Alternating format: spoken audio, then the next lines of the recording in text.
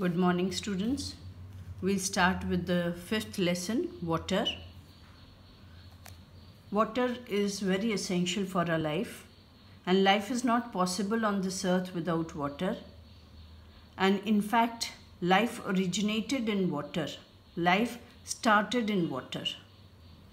Water covers about three fourth of the earth's surface. Three fourth means 75% of the earth's uh, area is covered by water. And it makes about 70% of our body weight. And 70% of our body weight is water. And 80 to more than 95% of the weight of the fruits and vegetables is water. And in ancient times water was considered as an element, but now it is established, it has been proved that water is a compound of hydrogen and oxygen. And the compounds which are found on this earth, water is the most abundant. Abundant means found in very large amount. From where do we get water? What are the sources of water? Surface water and groundwater. Surface water is the water which is found in the large water bodies like rivers, lakes, oceans and the polar ice caps. On the polar region of uh, that is at the poles, ice is there ice and it is called it's very cold and all area is covered with ice they are called polar ice caps and groundwater that is the water under the surface of the earth. The groundwater is the water which is found under the surface of the earth and it can be pumped out when we need it.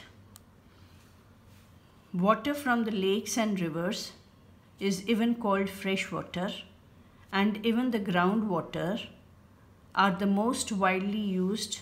So these the lake water river water groundwater they are mostly used for agriculture, industrial and household purposes. Household purposes, the work or uh, whatever uh, we do at our house, for that we need water. And the source of this water is rain.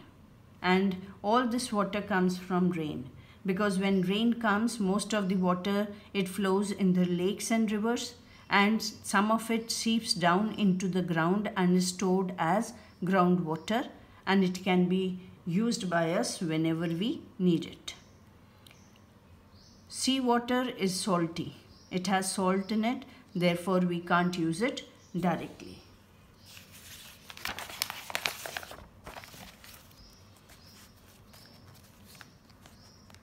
We have read it earlier also that water exists in three states that is solid, ice, liquid water, gaseous water vapor. And it is present in all these three states in nature. High mountains and polar regions, they are covered with ice. Oceans, lakes and rivers, ponds have water in liquid state.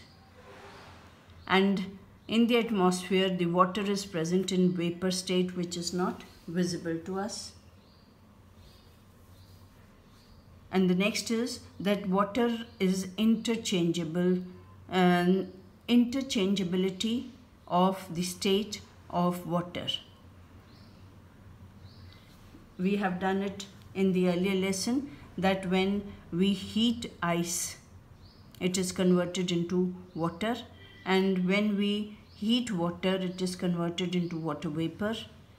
And when these water vapors they are cooled they are converted into water. And water on being cooled converts into ice. So ice water and water vapor are interconvertible. That is the states of water are interchangeable. They can be changed from one form to the other Next is water is essential for life. In the beginning only I told you that without water there is no life on this earth. And water plays an important role in the body of living beings. First one is that the chemical reaction that take place in the body of living beings are called biochemical reaction. Bio means living and the chemical reactions which occur in living beings are called biochemical reactions. For example, digestion and respiration are biochemical reactions and these reactions take place in solution form. That is, they require water as a medium to carry out these reaction. The reactants, they get dissolved uh, in water and then the reaction occurs. So in this way chemical reactions in our body are carried out by water or requires water. Next is photosynthesis. It is a biochemical reaction which occurs in plants. Plants are also living so it is called biochemical reaction and water plays a main role in it because in photosynthesis water combines with carbon dioxide in the presence of sunlight and chlorophyll to form glucose. Next is water helps in transport of food, waste and many other things inside the body of living beings. So it, water helps in transportation of these things in our body. For example, blood transports the food which is digested to all the parts of our body and major part of the blood is water. And in plants, a liquid called cell sap. This cell sap is present in the vacuoles of the cells of plant.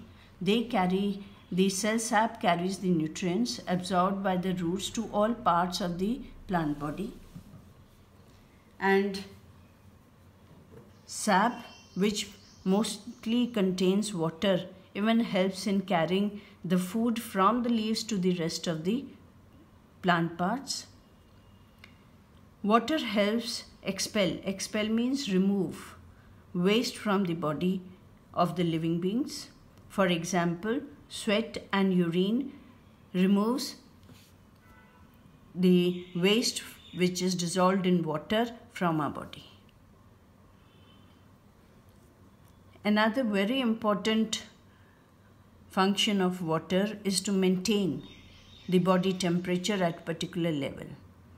So even the body temperature of ours is maintained constant with the help of water. When we feel too hot, we sweat. Because when that sweat evaporates, it takes away the heat from our body and makes our body cool. And you all must have seen that in summers the dogs they salivate too much. Too much of saliva is secreted out of their mouth. They take out their tongue when it is very hot and water like material flows out from their mouth that is saliva and this is because when they feel hot they salivate more and that saliva uh, evaporates and makes their body cool